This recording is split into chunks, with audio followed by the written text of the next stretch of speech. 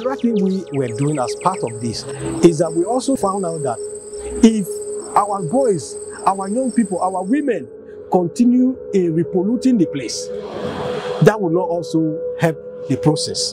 That will not also help to achieve this. So what we did was to say, look, even though it was lucrative, the illegal refining, the bunkering thing was lucrative. My dear, a whole lot of young Ogoni people had much money. So it was even dangerous to pull them out of it. We said, look, we will do it. Because one, we want this environment to be clean.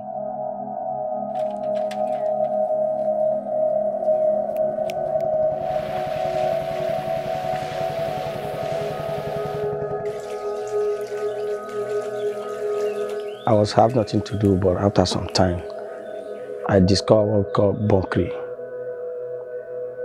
So we do the bunkering, and that bunkering help us for a lot of things. After some time, the MOSOP came and asked us to stop. Say it's not good for health. Uh, so from then, we listen to MOSOP.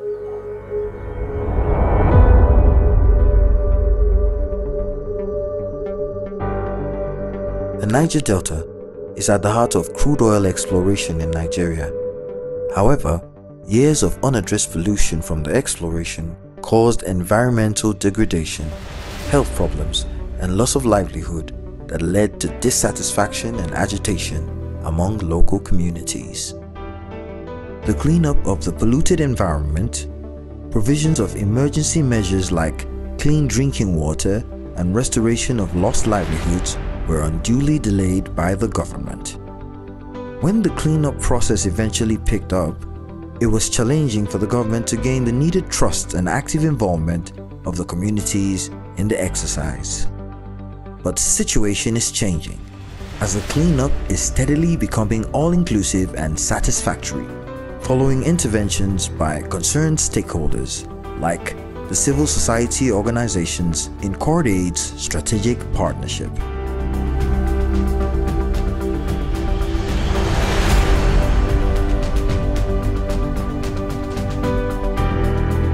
Okay, at the inception of the program, uh, one of the core pillars of the program was explained in terms of building capacity of civil society organizations who in turn were to build the capacity of community stakeholders to advocate for their needs and um, their expectations regarding the cleanup.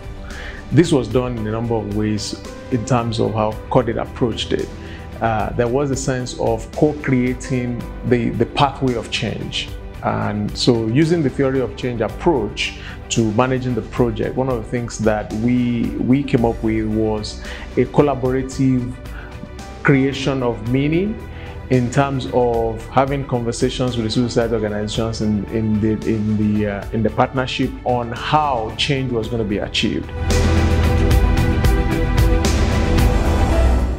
The CORDAID Strategic Partnership Project has built a capacity in face initiative in lobby and advocacy and um, in monitoring and evaluation because all goes together in terms of programming. Um, it helps us to um, articulate our advocacy strategy to engage in evidence-based advocacy. So in doing that, we do a lot of community engagement to get the um, issues that um, borders around environment, that borders around the um, livelihood of the people, because the environment and the livelihood um, goes together.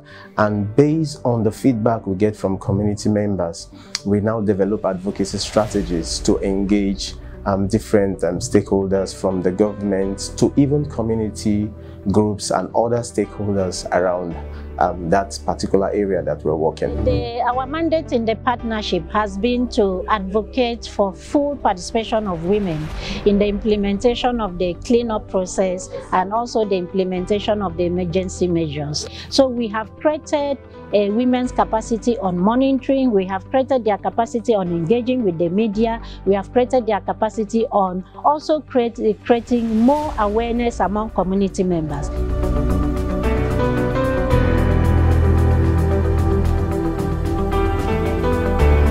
CISLAC uh, actually adopted an approach uh, of uh, adopting an evidence-based methodology uh, to generate uh, data and information from the community on the one side and use those information to engage the parliament at different level. We engage the parliament at local level, state level and the national level.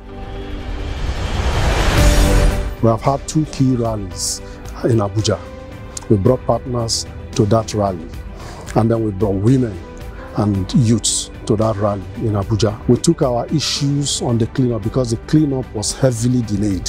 So what we did with that rally was to bring back the issues back to the front burners. We brought media people and then we spoke, the minister came out. The second rally, the minister came out and actually addressed us and everybody went back. And that address also elicited responses from the communities. Several capacity building workshops were organized by Cordaid for the CSOs as a continuation of the learning process. The partners also had step down trainings for the community members to enable them, particularly youth and women, participate in the cleanup exercise. For over the five years, the Cordaid project has uh, helped to build the capacity of Publish What You Pay and her members. So our job is focusing on uh, integrating human rights into impact assessment. We have sensitized the community, we equally train the community on uh, integrating human rights into impact assessment, uh, into how community can maximally participate.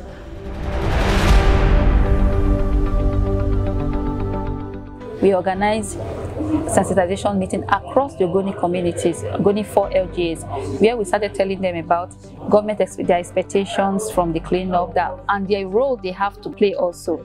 After that, we also had to do a lot of sensitization um, advocacy visit to government agency NOSDRA, even River State Minister of Environment, and also the state government, the River State House Committee on Environment. We did a lot of that to prepare that baseline for them.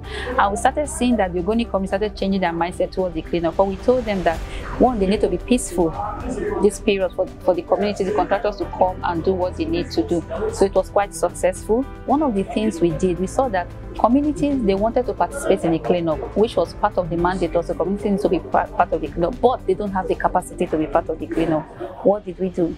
We selected some community youths and trained them on remediation skills.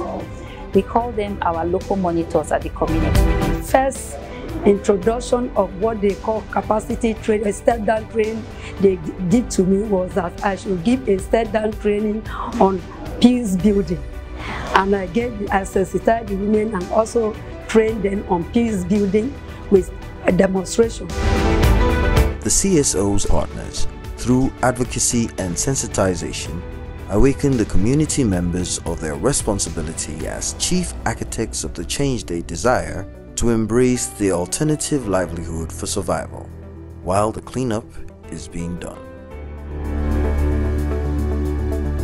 God aid is one of the, you hear me talk now, it's called aid, like I said. Is the money they spend on us like we have come to meeting, bring out people like us to come out, they train us, is because they have trained us. We now know everything that's happening in our community. Before now, I don't know anything about remediation. I don't know anything about uh, whether groundwater is bad or whatever thing. But the training they have given to us has made us exposed.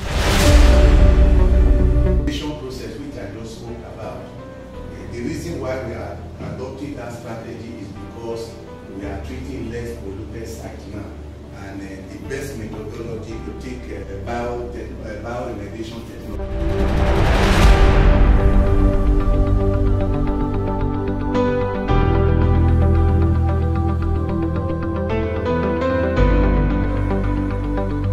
I think when MOSOP start to sensitize us concerning this uh, oil bunkering of things, we decided to say let us listening to MOSOP that. That is their parents' body. Each time MOSOP speak, we always all the Ogoni always buy by the rule of muscle. Since we decided to stop, it is Okada business I normally do to sustain my family.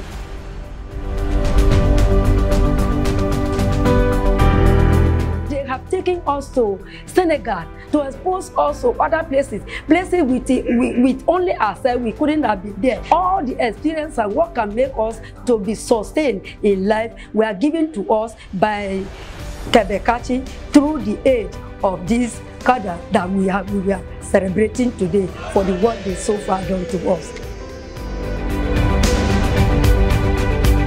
I think overall, this, this program would pride itself as having contributed significantly to um, providing the process and laying the foundation upon which future programs can build in terms of making sure that the cleanup happens effectively. Prior to this program, uh, we didn't have uh, a functioning HYPREP, and I can say without uh, any sense of um, being immodest, that this program kept the Ogoni uh, cleanup and the forefront burner of national discourse for the past five years. There's hardly any week that something wasn't being put out on the cleanup that can be directly attributed to the members of the program. So going forward, I would want a situation where most of these communities and, and traditional rulers, uh, councillors from Ogoni, National Assembly members from Ogoni, who are already sensitized to the need to continue to have these conversations. There could be conversation going in the sense that holding HYPREP accountable must be at the forefront of the next steps.